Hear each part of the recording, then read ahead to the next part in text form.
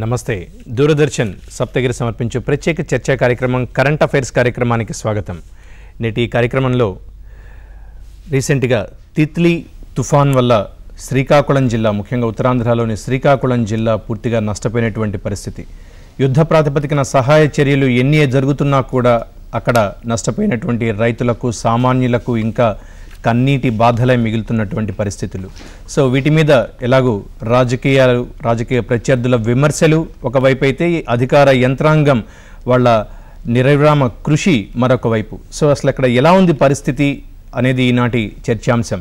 ఈనాటి చర్చాంశంలో మనతో పాల్గొంటున్నారు ప్రముఖ రైతు నాయకులు అక్కినేని భవానీ ప్రసాద్ గారు అలాగే మనకి ఫోన్ లైన్లోకి అందుబాటులోకి వస్తారు దిగుమర్తి ప్రేమ్చంద్ గారు సీనియర్ పాత్రికేయులు గౌతు శిరీష గారు. శ్రీకాకుళం జిల్లా తెలుగుదేశం పార్టీ అధ్యక్షురాలు. ముందుగా మనం అక్కినేని భవానీ ప్రసాద్ గారు ప్రముఖ రైతు నాయకులు వారిని అడిగి అసలు అక్కడ రైతాంగం పడుతున్నటువంటి బాధలేంటి ఈ తుఫాను వల్ల వాళ్ళు ఏ విధంగా నష్టపోయారు? వాళ్ళకి పునరావాస కార్యక్రమాలు ఎలా జరగాలి అనేది కనుక్కుందాం. నమస్తే భవానీ ప్రసాద్ గారు. నమస్కారం. సార్ చాలా దురదృష్టకరం తేలిపోతుందిలే అనుకున్నటువంటి తుఫాను తిత్లీ తుఫాన్ ఒక హుదూద్కి హుదూద్దుకి ఏమాత్రం తీసిపోని రీతిలో కనీవిని ఎరిగినటువంటి నష్టాన్ని మిగిల్చింది. సో ఎంత మనం ముందు జాగ్రత్తలు తీసుకున్నా రియల్ టైం గవర్నెన్స్ నుంచి ఎంత ముందస్తు సమాచారం వచ్చినా కూడా అక్కడ కోర్స్ ప్రకృతి నష్టాన్ని ప్రాణ నష్టాన్ని ఆస్తి నష్టాన్ని అంచనా వేయడంలో విఫలమయ్యారిన విమర్శలకు వైపు సరైన సమయంలో స్పందించారని ఒకవైపు మీరు ఎలా చూస్తారు? దీని మీద మీ కామెంట్స్ ఏంటి? దురదృష్టవశాత్తు మనకి కోస్ట్ లైన్ తొమ్మిది వందల అరవై కిలోమీటర్లు ఉండటం వల్ల ప్రతి మూడు నాలుగు సంవత్సరాలకు ఒకసారి మనం విపరీతమైన నష్టం భరించాల్సిన పరిస్థితులు ఏర్పడుతూ ఉన్నాయి. తుఫాన్ల వల్ల కానీ వరదల వల్ల కానీ లేకపోతే కరువుల వల్ల కూడా. ఇప్పుడు మన రాష్ట్రంలోనే ఒక పక్క కరువు ఉంది ఒక పక్క తుఫాను నష్టం జరుగుతూ ఉంది. ఇక్కడ రాజకీయ పార్టీలు వాళ్ళ వాళ్ళ రాజకీయ మనుగడ కోసం ఇవి అంశాలు మాట్లాడవచ్చు కానీ ఒక విషయం నేను ప్రధానంగా చెప్పదలుచుకున్నా. ఇండియన్ మెటీ మెటీరియల్స్ డిపార్ట్మెంట్ వాళ్ళు ముందు అడ్వాన్స్గా ఇన్ఫర్మేషన్ ఇవ్వటం వల్ల ప్రాణ నష్టాన్ని చాలా వరకు తగ్గించగలిగాము. కేవలం ఏడెనిమిది మంది మాత్రమే మరణించినట్టుగా మనకు వార్తలు వస్తూ ఉన్నాయి. కానీ హండ్రెడ్ అండ్ ఇంకా తగ్గించగలిగితే బాగుంటుంది అనేది ప్రకృతిలో జరిగే సమస్యలు అనేక ఉంటాయి. నూట అరవై ఐదు కిలోమీటర్ల వేగంతో గాళ్ళు వీచినప్పుడు జరిగేటువంటి నష్టం ఎంత అనేది ఎవరు అంచనా వేయలేరు. అది అది వీచే విధానాన్ని బట్టి కూడా ఉంటుంది అనమాట అందువల్ల ఏంటంటే అడ్వాన్స్ ఇన్ఫర్మేషన్ వల్ల కొంతవరకు సేవ్ చేయగలిగిన మాట అయితే వాస్తవం అది నేను పూర్తిగా నమ్ముతాను. రెండోది స్పందించడం అనే విషయానికి వచ్చేసరికి ముఖ్యమంత్రి ఇమీడియట్గా స్పందించి తను తనంతట తానుగా అక్కడుండి అన్ని చర్యల్ని తన డా- క- కనుసన్నల్లో జరిగేటట్టుగా చూడటం అనేది ఒక ప్రధానమైన అంశం. ఎందుకంటే ఎప్పుడైతే చీఫ్ మినిస్టర్ అక్కడ ఉన్నాడో అన్ని అంశాలు అన్ని వర్గాల వారు ఇమీడియట్గా స్పందించి పనిచేయటం ప్రారంభమవుతుంది ఇవాళ మీరు చూడండి అన్ని గ్రామాల్లో సుమారుగా శ్రీకాకుళం జిల్లాలో మూడు వందల డెబ్బై ఏడు గ్రామాలకి వాటర్ ట్యాంకుల ద్వారా నీటిని సప్లై చేస్తూ ఉన్నారు. అలాగే సామాజికంగా ఉన్నటువంటి లిఫ్ట్ ఇరిగేషన్లు ఏవైతే పనిచేయట్లేదో వాటికి ఈ జనరేటర్స్ని పెట్టి నీటిని ఇమీడియట్గా స్పంది అందించడానికి ప్రయత్నం జరిగింది.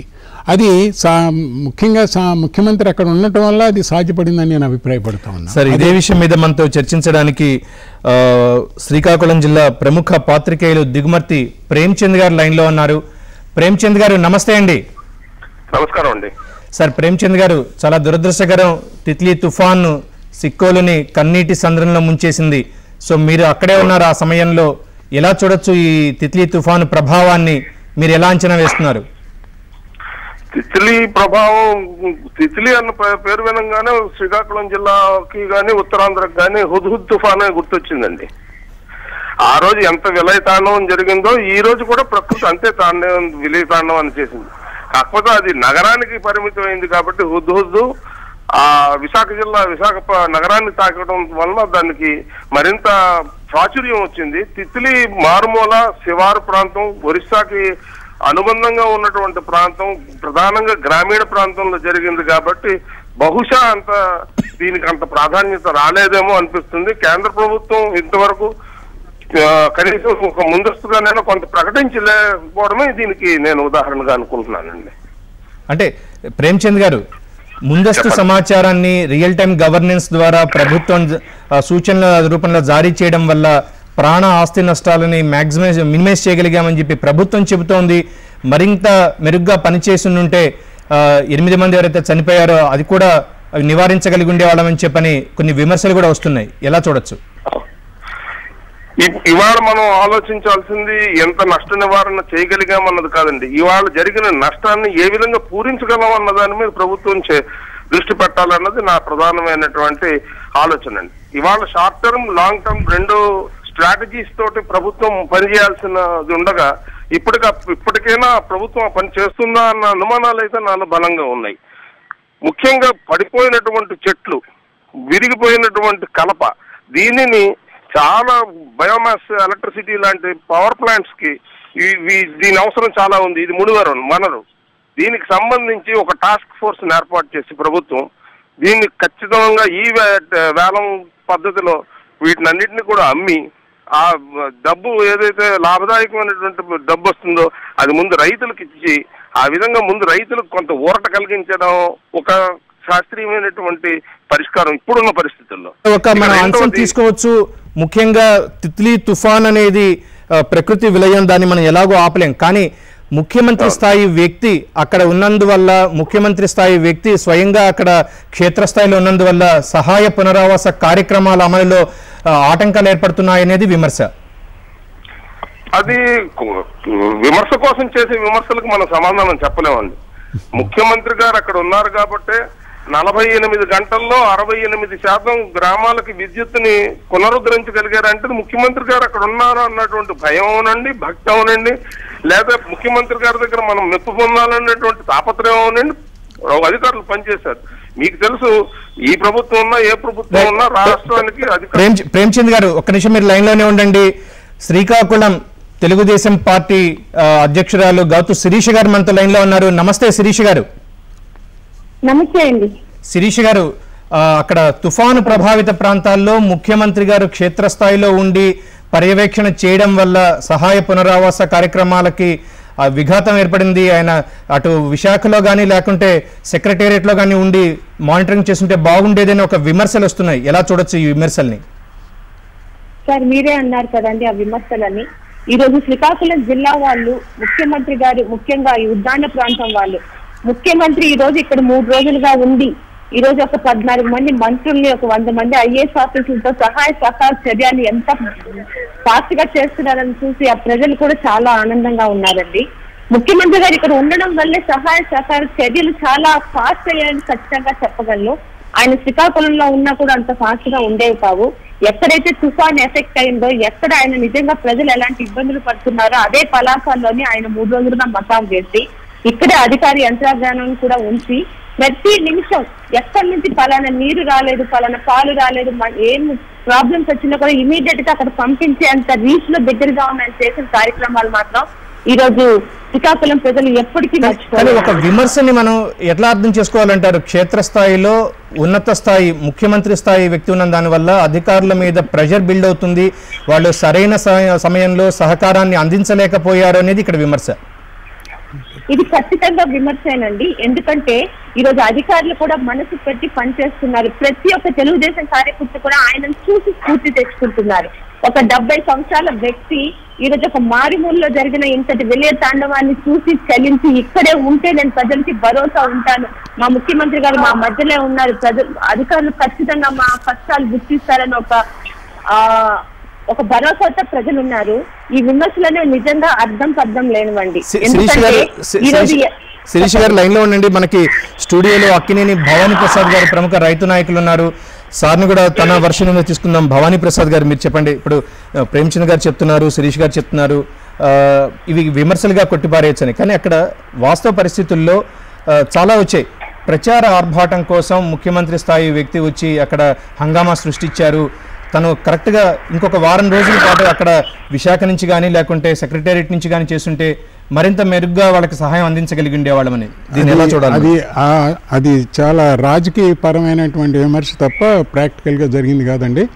ప్రాక్టికల్గా నేను నమ్మేది ఏంటంటే ముఖ్యమంత్రి గారు అక్కడ ఉండటం వల్ల పాజిటివ్ వర్కే జరిగింది తప్ప నెగిటివ్ వర్క్ జరగలేదు నెంబర్ వన్ ఇప్పుడు ఆయన చూడండి ఇమ్మీడియట్గా ఆయన జస్ట్ టూ త్రీ డేస్లోనే ఆయన పర ప్రకటించడం జరిగింది. వరికి నష్టం వస్తే ఎకరానికి ఇరవై వేలు ఇస్తానని జీడి ముప్పై వేలు ఇస్తామని అలాగే యాక్వాట్ కల్చర్కి పన్నెండు వేలు ఇస్తామని తర్వాత మన దీనికి అరటి తోటకి ఎకరానికి ముప్పై వేల రూపాయలు చొప్పున పరిహారం చెల్లిస్తామని చెప్పి వాళ్ళకు ఒక రకమైనటువంటి మనోధైర్యాన్ని కలిగించడం ఒక స్టెప్ అయితే నెంబర్ టూ అన్ని గ్రామాల్లో పారిశుద్ధ్య కార్యక్రమము నీటి లభ్యత plus essential commodities like rice ఇరవై ఐదు కేజీల రైస్ ఇమ్మీడియట్గా ప్రతి ఫ్యామిలీకి ఇవ్వటం దాంతోపాటు పాటు ఆయిల్ పంచదార లేకపోతే కొన్ని పప్పు దినుసులు కూడా అందించి వాళ్ళంతటా వాళ్ళు ఇమ్మీడియట్గా దాన్ని ఇదే మనం ఇంకోటి కూడా చూడాలి. హుదూద్ సమయంలో ఇచ్చినటువంటి హామీలు అప్పుడు ప్రకటించినటువంటి పునరావాస కార్యక్రమాల తాలూకు ఫలాలు ఇంకా అందలేదు. మరి ఇప్పుడు ఈ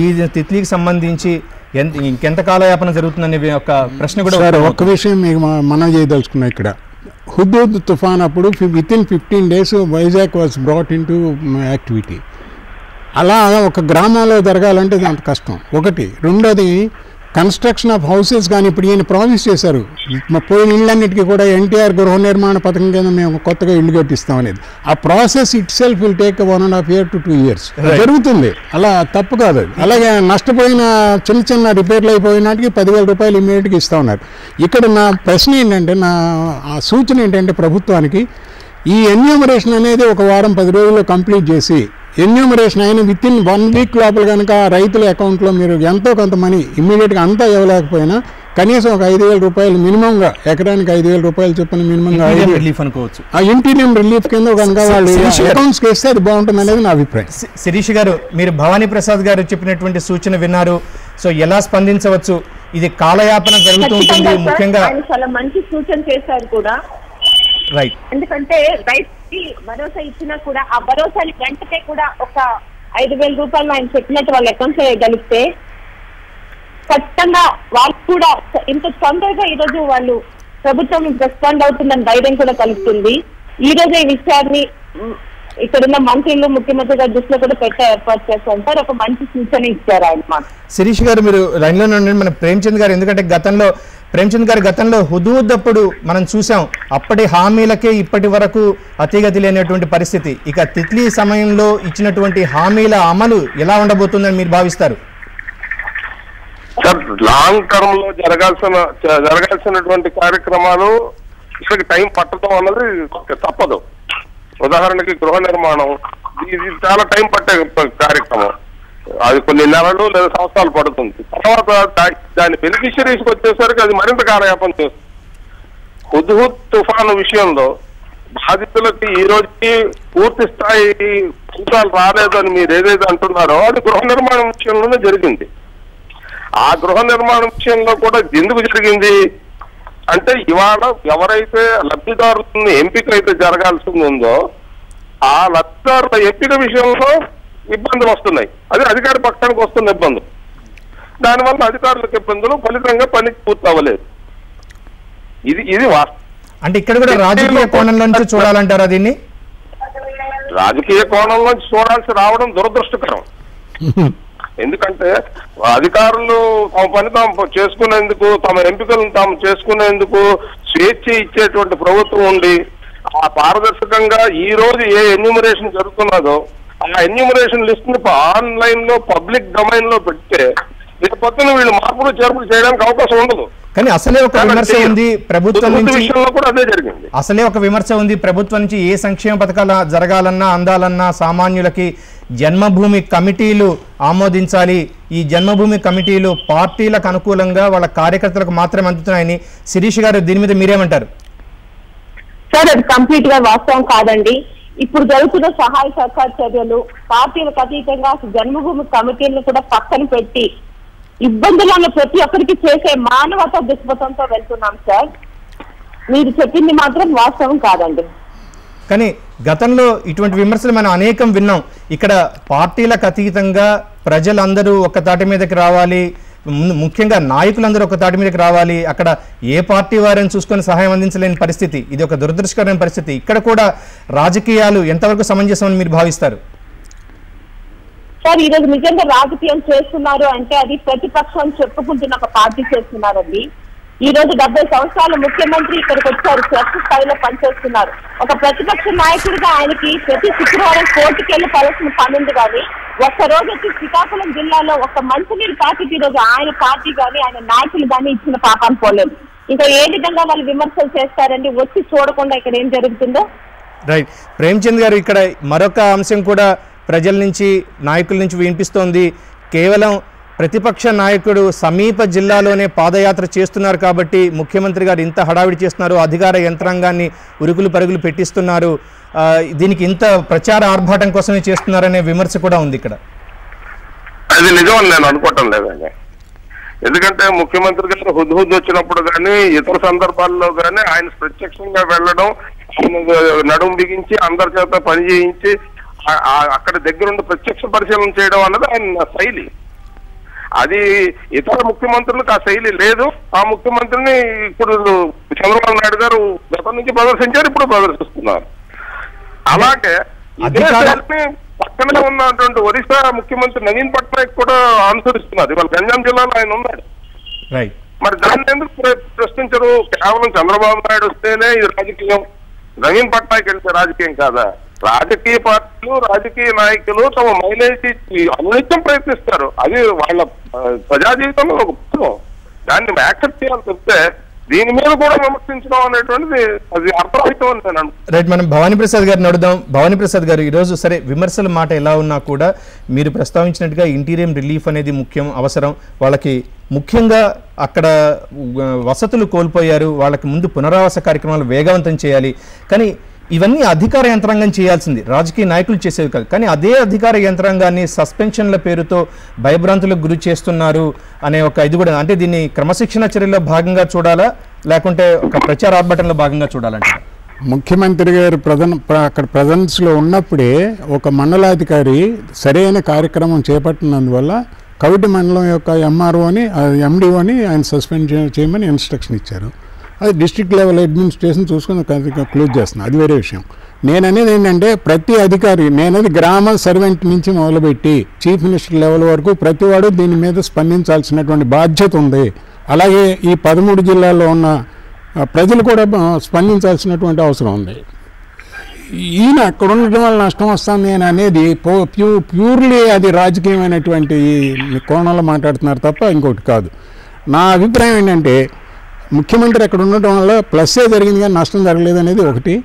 నెంబర్ టూ నేను అన్నట్టు ఆయన కనుక అడ్వాన్స్గా ఇప్పుడు ఒక వన్ వీక్ టెన్ డేస్ లోపల ఎన్యూమరేషన్ కంప్లీట్ చేసి ఆ మినిమం సమ్ రిలీఫ్ ఇమ్మీడియట్గా వాళ్ళకి అకౌంట్స్లోకి వెళ్ళేటట్టు చేసినట్టయితే రైతు ఇమ్మీడియట్గా రేపు రబీ క్రాప్కి సిద్ధపడతాడు.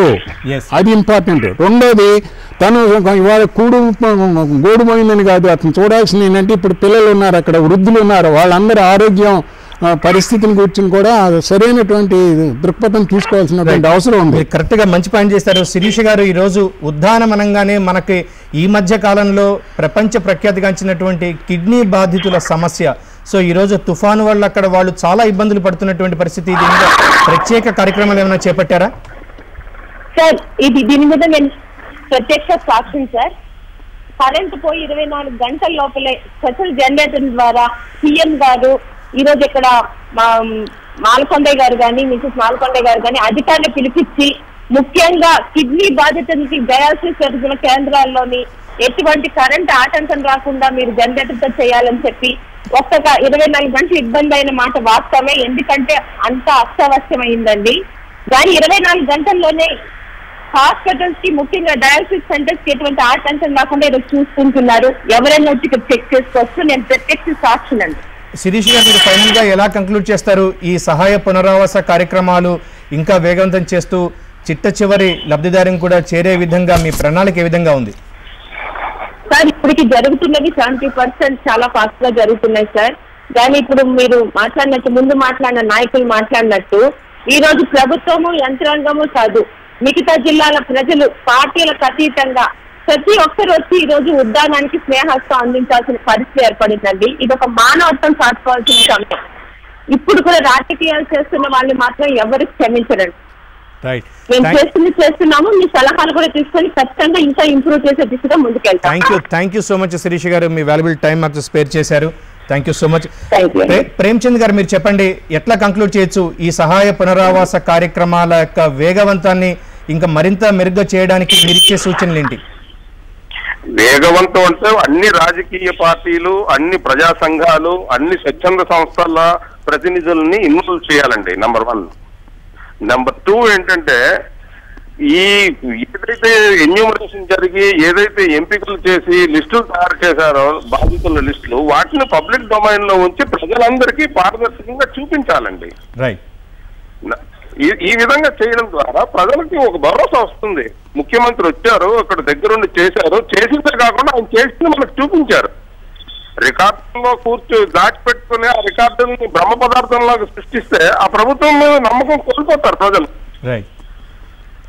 కానీ ఈ అక్కడ వాస్తవానికి పరిస్థితులు మళ్ళీ రీస్టోర్ అయ్యి గతంలో వలె సామాన్య జనజీవనం గడపడానికి ఎన్ని రోజులు పడుతుందని మీరు భావిస్తున్నారు?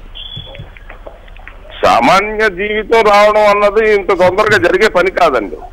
ఏదో తింటారు ఏదో బట్ట కట్టుకుంటారు బయటకు వెళ్తారు వస్తారు ఇది జరుగుతుంది తప్పితే వాళ్ళ జీవితాల్లో ఏ ఆర్థిక మూలాలు ఉన్నాయో ఆ మూలాలను రిస్టోర్ చేయడం అన్నది కొన్ని సంవత్సరాలు పడుతుందండి. ఉదాహరణకి ఇవాళ పోయినటువంటి కొబ్బరి తోటలు ఇవాళ లబ్ధిదారులు వేసినవి కావు.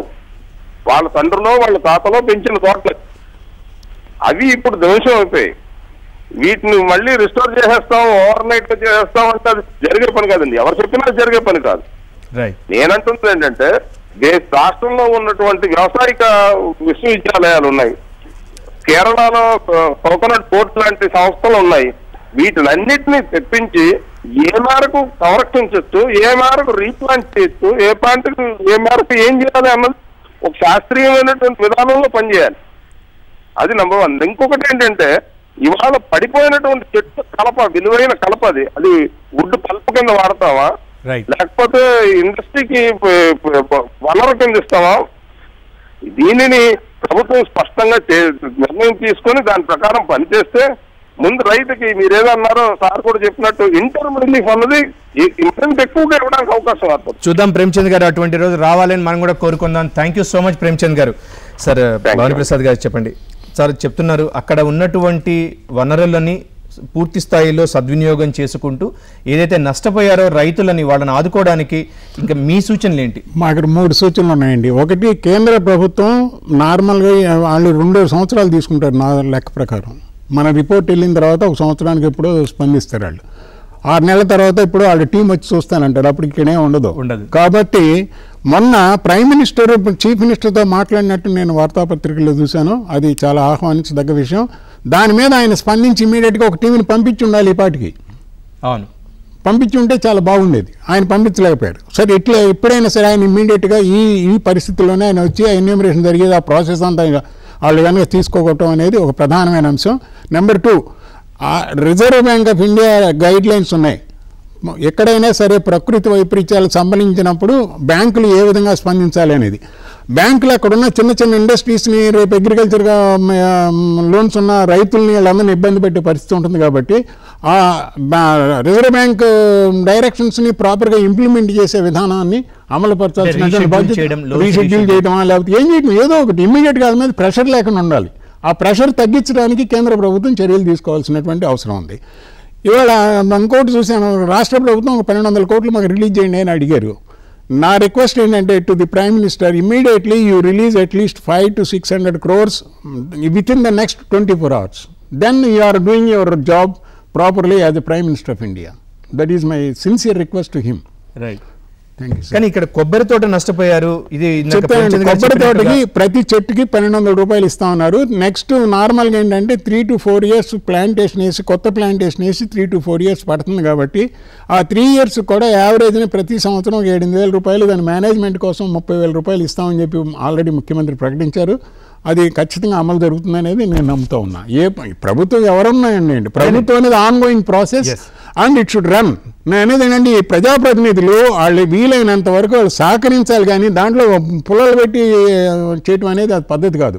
అసలు అది రాజకీయ సిద్ధాంతానికే వ్యతిరేకం నా పాయింట్. ఎప్పుడైతే ప్రజలు ప్రకృతి వైపరీత్యాన్ని ఎదుర్కొంటా ఉంటే ఎవరినో విమర్శిస్తా ఉంటే నీ నీ చేతనైతే సహాయం చేయి లేకపోతే బాబు ఇలా చేయండి అని చెప్పు. ఉండాలి అయితే సూచనలు ఉండాలి. సూచనలు ఉండాలి. అంతేగాని పార్టిసిపేషన్ లేకుండా ఊని ఎక్కడో కూర్చుని మా ఏసీ రూమ్లో కూర్చుని కబుర్లు చెబితే ఎట్లా? Totally- జరిగినటువంటి విపత్తు అందరినీ కన్నీటి హృదయాలకి కొంత స్వాతంత్రం చేకూర్చాలి అంటే ప్రభుత్వాలతో కూడా ఇందాక ప్రేమ్చంద్ గారు లేకపోతే శిరీష్ గారు చెప్పినట్టుగా ఎన్జిఓ సహకారం కానీ సామాన్య ప్రజల సహకారం కూడా ఎంతో అవసరం? అటువంటి సహకారం రావాలి అక్కడ మామూలు పరిస్థితి నెలకొనాలని మనం కూడా కోరుకుందాం. థ్యాంక్ యూ విషయం సార్ ఒక్క విషయం మనకి సెకండ్ వరల్డ్ వార్లో హిరోషిమా నాగసాకి మీద సార్ హైడ్రోజన్ బాంబు వేసినప్పుడు తక్కువ సమయం ఉంది కాబట్టి మనం చేయాలి. Japan they did not accept any support from the US. Or any other country వాళ్ళందరూ వాళ్ళు ఓన్గా తీసుకున్నారు అది. అట్లాగే మనం కూడా మన రాష్ట్రం కూడా మనం ఖచ్చితంగా ఈ పదమూడు జిల్లాల ప్రజలు కనుక దీన్ని హృదయాన్ని తీసుకుంటే మనం దీనికి చూద్దాం. అటువంటి రోజు రావాలి అని కోరుకుందాం. Thank you so much Bhavani Prasad గారు. ఇది వాటి ప్రత్యేక చర్చా కార్యక్రమం. మరొక కార్యక్రమంలో మళ్ళీ కలుద్దాం. నమస్తే.